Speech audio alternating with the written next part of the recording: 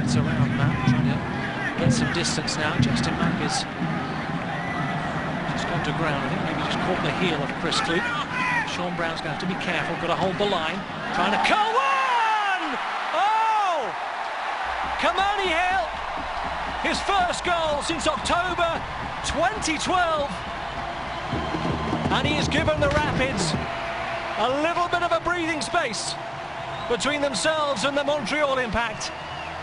54 minutes gone, and Kamani Hill has made it 2-0. I got to tell you, one, Chris Klute does a nice job. He makes that run. But right here, we talked about Cerna hitting it first time. Look at Kamani Hill on the run, touch inside, and what a great ball, bending it and dipping it into that far post to put Colorado up 2-0.